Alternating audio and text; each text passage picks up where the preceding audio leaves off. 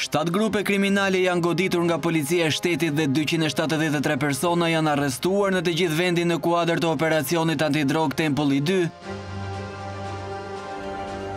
Operacioni u zhvillua përgjatë mbrëmjes së kaluar dhe orëve të para të mëngjesit të kësaj të hëne njëkohësisht në Tiranë, Elbasan, Durrës, Shkodër, Dibër, Gjirokastër, Vlorë, Fier, Berat dhe Lezhë, Policia prej kohësh ka nisur hetimet për goditjen e disa grupeve kriminale të cilat merren me shitje dhe trafik të lëndëve narkotike.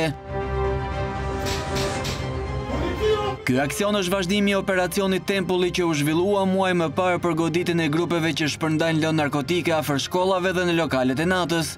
Fokusi i Policisë së Shtetit në drejtim të sigurimit të rinisë ka qenë goditja e këtij fenomeni në zonat dhe e banimit të gjithë adoleshentëve dhe problematikave të ndryshme që kanë adresuar qytetarët shqiptarë.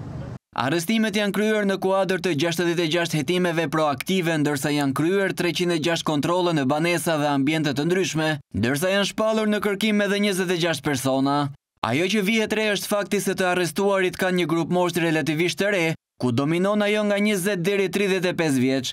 Epiqendra e operacionit ka qenë Tirana me mbi shtatëdhjetë persona të arrestuar. Është bërë e mundur vënia në pranga e disa drejtuesve të disa grupeve të vjetra shpërndarësish të lëndëve narkotike, sidomos në kryeqytet. Mes tyre edhe një çift dyzet e katër vjeçarësh në kryeqytet të cilët kishin edhe grupin më të madh. Ndërkohë ministri i Brendshëm deklaroi se nuk ka pasur asnjë dekonspirim.